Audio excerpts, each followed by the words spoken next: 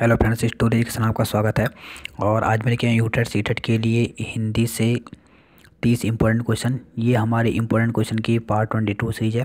तो चलिए दोस्तों, शुरू करते हैं। इसके साथ साथ अब हम अन अकेडमी जुड़ चुके हैं। तो आप हमें अन अकेडमी की लर्निंग ऐप पे फॉलो कर सकते हैं। साथ ही आप हमें फेसबुक पर भी स्टोरेज के क्लासेस यहाँ पर भी आप हमें फॉलो कर सकते हैं।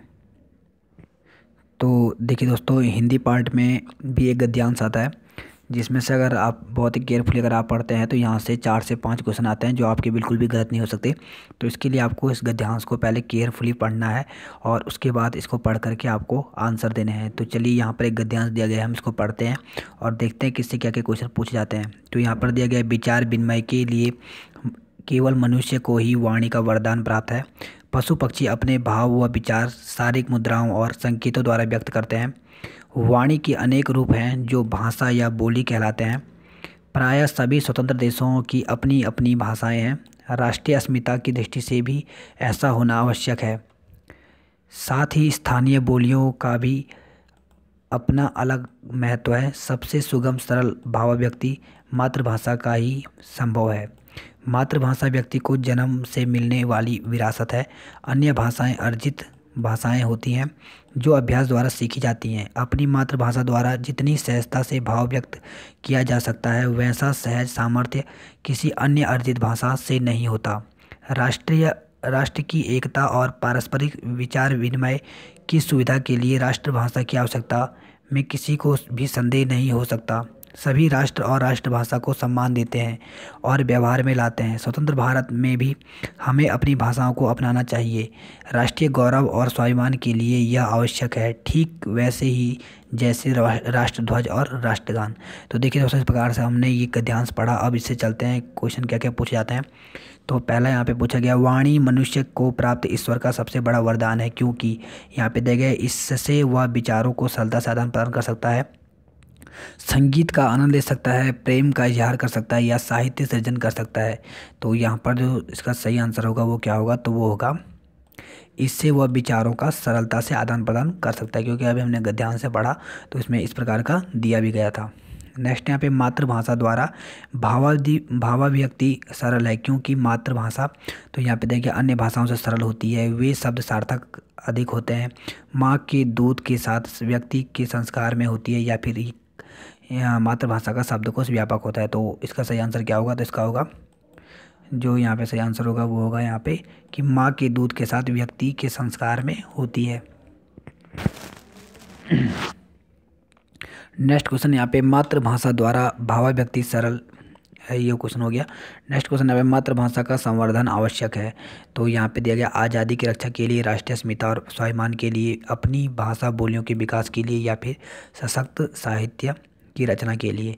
तो मास्ट माता, जो राष्ट्रभाषा इसका संवर्धन आवश्यक होता है, क्योंकि, या, क्योंकि इसके लिए क्या होता है, क्योंकि राष्ट्रीय अस्मिता व स्वाभिमान के लिए ये आवश्यक है। नेक्स्ट क्वेश्चन है पे राष्ट्रभाषा होने के लिए आवश्यक है कि वह भाषा देश के अभिजाति वर्ग की भाषा हो व्याकरण सम्मत भाषा हो, कोई शास्त्रीय भाषा हो, या अधिसंख्य आबादी के व्यवहार और पठन पाठन की भाषा हो। तो यहाँ पे अगर हम बात करें तो कौन सही होगा तो होगा आदि संख्या आबादी के व्यवहार की पठन पाठन भाषा हो नेक्स्ट क्वेश्चन लिखा, दिया गया है यहाँ पे। निम्नलिखित में रीतिकालीन कवियों में से रीति मुक्त कवि कौन से हैं? तो ये बहुत ही इंपॉर्टेंट क्वेश्चन है।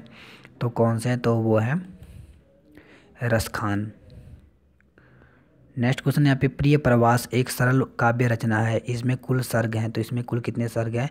तो इसमें कुल सत्रह सर्ग हैं। नेक्स्ट क्वेश्चन यहाँ पे, दो राह समय की रथ का घर घर नाद सुनो, सिंहासन खाली करो कि जनता आती है। उपयुक्त पंक्तियों में किसकी रचना से उद्गृत किया गया है? तो ये किसकी रचना है? तो ये जो रचना दी गई है, ये रामधारी सिंह दिनकर की है। नेक्स्ट क्वेश्चन यहाँ पे सुमिता नंदन पंत को किस कृति के लिए उन्हें ज्ञानपीठ पुरस्कार दिया गया था या प्रदान किया गया? तो ये बहुत ही इंपॉर्टेंट क्वेश्चन है दोस्तों। ये कई बार टेट में रिपीट हो चुका है। ये प्रीवियस ईयर का जो टेट हुआ था, इसमें भी आया था। तो ये किसमें, किसके लिए सुमिता नंदन पंत को ज्ञानपीठ पुरस्कार मिला तो ये मिला था चिदम्बरा के लिए। नेक्स्ट क्वेश्चन यहाँ पे रमणीयार्थ प्रतिपादक शब्द काव्यम, किस आचार्य का कथन है? तो ये जो कथन दिया गया था, ये पंडित राज जगन्नाथ के द्वारा दिया गया। नेक्स्ट क्वेश्चन यहाँ पे काल क्रम के अनुसार निम्नलिखित कवियों का सही अनुक्रम क्या है? तो ये भी देखिए दोस्तों, इस प्रकार का क्वेश्चन जो है, वो टेट में 2017 में भी रिपीट हो चुका है। तो कौन सा कालक्रम सही है? तो वो है यहाँ पर, पहले प्रसाद, फिर निराला, फिर पंत, फिर महादेवी, वर्मा। नेक्स्ट क्वेश्चन यहाँ पे, निम्नलिखित में से कौन सा शब्द देशज है? तो देखिए दोस्तों, जो हमारे देश में प्राचीन समय से चला आ रहा है, उसे देशज कहते हैं। तो यहाँ पे अगर हम देखें तो कौन सा देशज है तो वह लोटा। लोटा जो है वो देशज शब्द है। नेक्स्ट क्वेश्चन यहाँ पे, व्याकरण में प्रविशेषण किसे कहते हैं? तो देखिए दोस्तों, जो प्रविशेषण होते हैं वे विशेषण की जो विशेषता बताते हैं, उसे प्रविशेषण कहते हैं। जैसे हमने कहा कि ये राधा तेज़ दौड़ती है तो ये तो हो गया विशेषण। लेकिन हमने इसमें जोड़ दिया कि राधा बहुत तेज़ दौड़ती है तो बहुत क्या हो गया? विशेषण की भी विशेषता बता रहा है तो वो हो गया प्रविशेषण। ठीक है तो इस प्रकार से वे सब जो विशेषण की विशेषता बताते हैं, उसे प्रविशेषण कहते हैं। नेक्स्ट पे मुहावरे लोकतियों का प्रयोग जो होता है, किसमें होता है? तो जो मुहावरे और जो लोकतियाँ इनका जो प्रयोग होता है, ये भाषिक अभिव्यक्ति को प्रभावी बनाता है। नेक्स्ट क्वेश्चन यहाँ पे निम्नलिखित में से कर्मधारय समास की शब्द में है? तो यहाँ पे देखा चक्रपाणी, परमेश्वर, वनवास या दसमुख। तो किसमें यहाँ पे कर्मधारय समास है? तो ये है परमेश्वर में। नेक्स्ट क्वेश्चन यहाँ पे ग्रीक नियम का संबंध किससे है? तो ग्रीक नियम का जो संबंध है, वो किससे है? तो वो है यहाँ पर ध्वनि विज्ञान से। नेक्स्ट यहाँ पे सरस्वती पत्रिका जो मासिक पत्रिका इसका संपादक कौन थे? तो ये भी बहुत ही इंपॉर्टेंट है और ये भी टेट में रिपीट हो चुका है। तो जो सस्ती सरस्वती मासिक जो पत्रिका है ये जो आ, निकाली गई थी ये किसके द्वारा निकाली गई थी? तो ये निकाली गई थी महावीर प्रसाद द्विवेदी के द्वारा। नेक्स्ट क्वेश्चन है भगवती चरण वर्मा का प्रसिद्ध उपन्यास है। तो भगवती चरण वर्मा का जो प्रसिद्ध जो उपन्यास है वह है चित्रलेखा नेक्स्ट यहाँ पे निम्नलिखित में से कौन तार सप्तक के कवि नहीं है? तो तार सप्तक के कवि कौन से यहाँ पे नहीं है? तो वह है केदारनाथ अग्रवाल। नेक्स्ट यहाँ पे राग दरबारी के लेखक हैं तो ये भी बहुत ही इंपॉर्टेंट क्वेश्चन है, ये भी रिपीट हो चुका है एग्ज़ाम में। तो जो राग दरबारी के जो लेखक हैं, उनका नाम है श्रीलाल शुक्ला। आचार्य रामकृष्ण शुक्ल मूलता थे तो जो आचार्य रामकृष्ण शुक्ल थे, ये मूलता क्या थे? तो ये थे समालोचक। पवन शब्द में कौन सी संधि है? तो देखिए दोस्तों, जो पवन है, इसमें कौन सी संधि है? तो इसमें अयादि संधि है। और देखिए दोस्तों, हमने संधि के लिए अलग ट्रिक बनाई है। हमारे आपने अगर हिंदी के अभी तक पीछे वाले नोट्स नहीं देखे हैं तो आप वहाँ पे देख सकते हैं। वहाँ हमने हिंदी के सभी पार्ट करवा दिए हैं और संधि भी कराई है। हमने संधि डिटेल में भी और ट्रिक के साथ दोनों करवाई है। तो ट्रिक में हमने बता रखा है कि जिसमें अगर बड़ा आ, बड़ी ई, बड़ा उ आता तो वहाँ पे संधि होती है।